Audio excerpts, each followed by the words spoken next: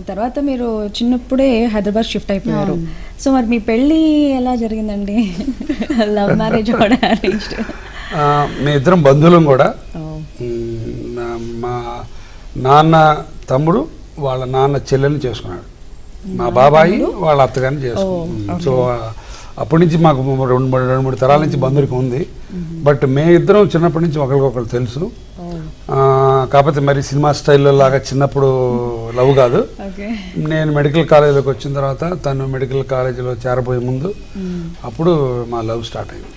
ఓ so మొత్తానికి love track చివరికి love track ఉంది. లవ్ ట్రాక్ మీద రొమాన్స్ ఉంది లైఫ్లో? లవ్ ట్రాక్ ఉంది. ఎవరు ఫస్ట్ ప్రపోజ్ చేశారు? ఐ డోంట్ నో నేనే ప్రపోజ్ చేశాను.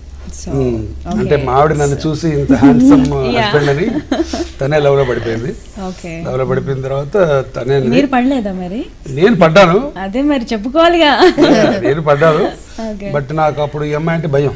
ఎందుకండి అంటే నేను గుంటూరు అప్పుడు ఈ అమ్మాయి Hyderabad so upper city girl so అందుకని చెప్పి నాకు కొంచెం కొంచెం బెడుగ్గా ఉండేది అంటే ఇద్దరు మెడిసిన్ ఒకే కాలేజ్లో లేదు.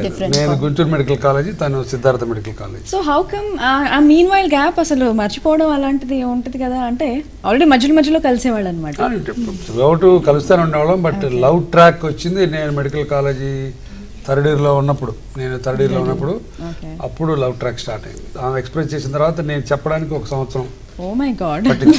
అంటే నాకు భయం వేసింది. మరి ఈ అమ్మాయిని చేసుకుంటే మరి మన బతుకు బస్ స్టాండ్ అయిపోద్ది అంటే చెప్పే కదా అప్పర్ సిటీ గర్ల్ సో నేనేమో Guntur boy so it some call cultural difference are they but thank God till today I have not repented a single day of marrying her so. Very fortunate so